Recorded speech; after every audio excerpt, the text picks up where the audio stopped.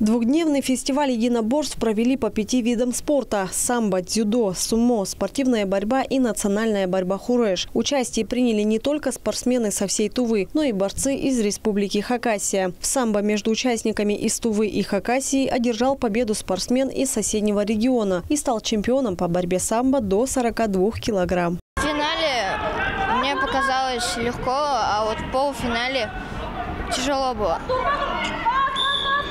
А, потом, когда в первую схватку вышел, сложно было, отдышался и одержал победу, первое место. Еще один спортсмен, который одержал победу и стал чемпионом по борьбе самбо до 46 килограмм Давид Дангак. Он представляет спортивную школу Олимпийского резерва «Олимп». Хоро хорошие, сильные. Я их уважаю. И в первой схватке было тяжело. Он меня выигрывал на один балл.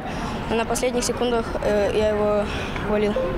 Вторая схватка выиграл 8-0. И вот эта последняя была тяжелой. На соревнования съехались любители разных видов спорта. Чимит Хангай представляет село Эрзин. Он стал чемпионом по национальной борьбе хуреш до 75 килограмм. За выход в финал тоже чуть-чуть тяжело было. Но соревнования в высшем уровне проходят. А в целом вообще подготовка соперников? Как? Что, что скажешь? Ну, все сильные. В соревновании приняли участие порядка 500 человек. В каждом виде единоборств по 100 участников до 18 лет разных весовых категорий. Тут пять разных э, видов спорта, но у всех э, возраста не соприкасаются, да, можем сказать. Самбисты там с 10-12 лет, дзюдоисты 13-14, вот все разные возраста, и самый старший возраст 17-18 лет, это у нас была борьба хуреш.